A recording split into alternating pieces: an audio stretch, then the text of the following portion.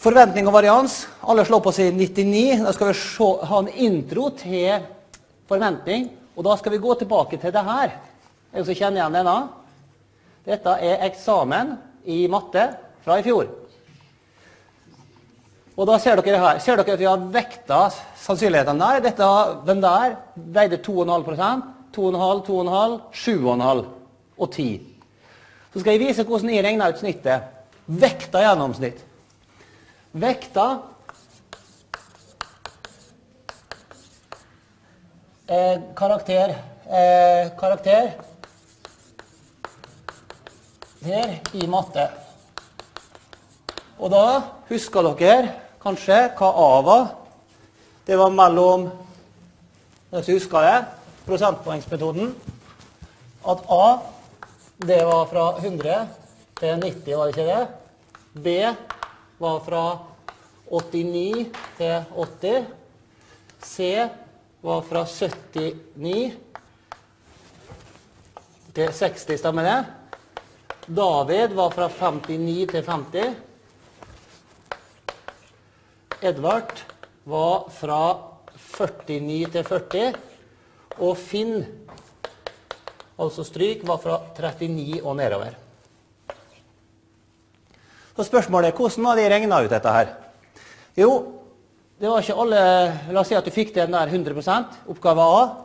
Så tar vi snittet. Karakter. Eh, prosentpoeng. Hva tar vi er lik? Da tar jeg først La oss si at du fikk 100% på den. da. Så fikk du 100% på den. Gange 0,025. Enig? At det er 2,5% Pluss.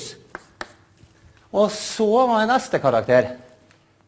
Ja, nei, der fikk du ikke, der fikk du ikke helt til det, men la oss si at du fikk 80% på den. Du fikk 80% på den ganger 0,0025. Og så neste. Her var det mange som bare brukte kalkulator. Og jeg gikk rett på kalkulator og fikk rett svar. Men det var jo poenget at du ikke skal bruke kalkulatorer her og vise hvordan du gjør det ved hjelp av eksponenter.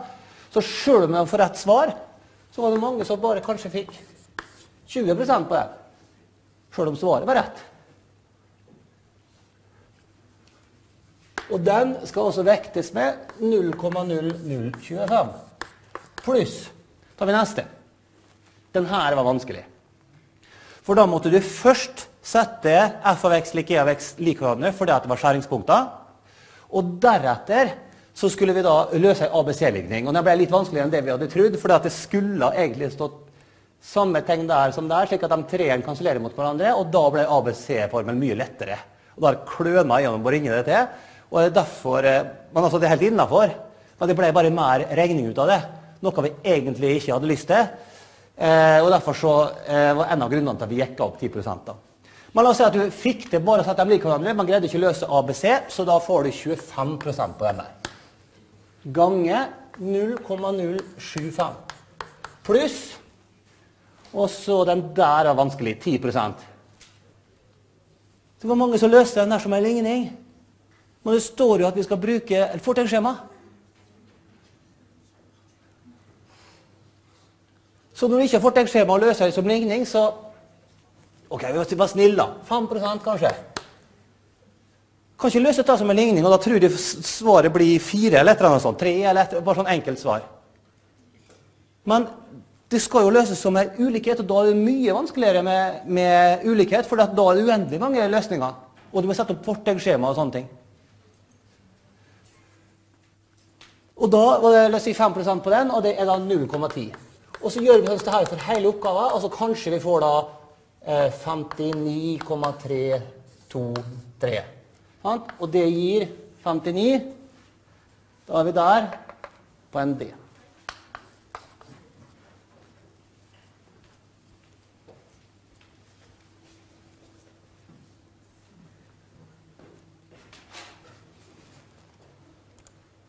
Se på det her.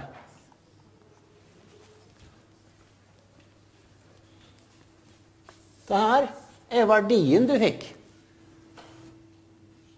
Du fikk verdien 100.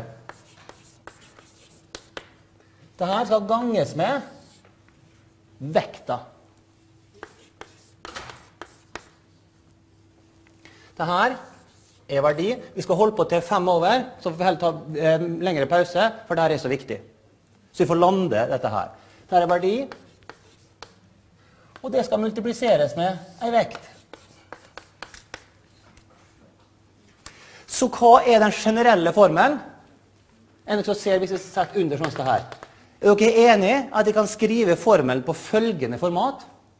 Det er sum av i er lik 1 til antall oppgaver.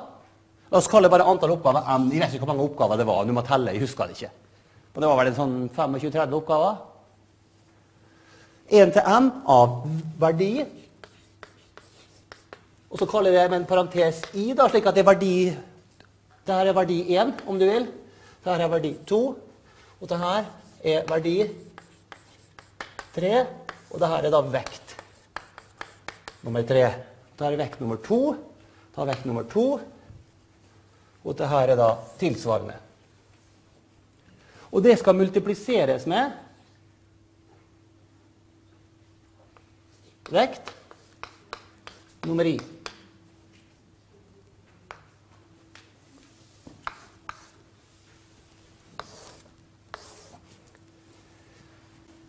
Ser dere hvordan dette bygges opp? Så Sånn var det Jan Boringe beregna karakteren i matematikk. Så vurderinga vår var hvilken verdi hver enkelt skulle fått. Og det blir jo litt, Der kommer skjønnet inn i bildet. Av og til så, i, så kan Jan Boringe være litt forskjellig, men da konfererer vi sammen så blir vi enige om hva som er fornuftig. Så da ser du at det er 20 der nå er verdien, 25 der er verdien, 5 der. Og da blir det verdi ganger vekt, verdi ganger vekt. Og dette her Er noen som husker hva det tegnet der betyr? Ja. Summasjonstegnet, ja. Og det er den greske bokstaven si. Sigma. Så har jeg ett spørsmål til. Hvis vi går tilbake igjen til Så sa vi da at hver enkelt oppgave ga 25 prosent. For hvor mange oppgaver var det? Det var fire oppgaver. Oppgave 1 ga totalt 25 så hvis vi summerer alle disse her, så får vi 25. Oppgave 2 ga 25 Og så summerer vi alle disse, så får vi eh, 25% Oppgave 3 ga 25% Og oppgave 4 ga 25% Så da har jeg et spørsmål. Hvis de tar noe summasjon fra i lik 1 til n av vekt nummer i. Hva slags tall får jeg her?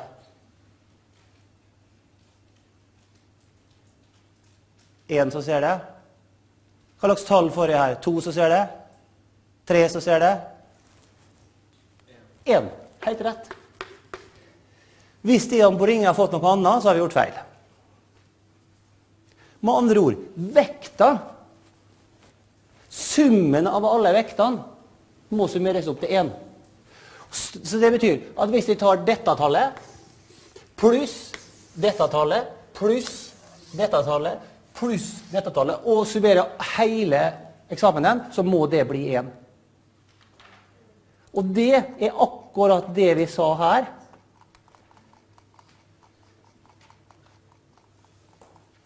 Her nå summen av alle sannsynligheter. Så dette er jo samme som vekta. Vi bruker å skrive det sånn. P av x lik xe.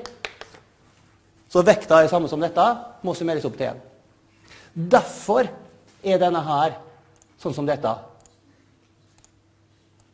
Derfor så har vi denne.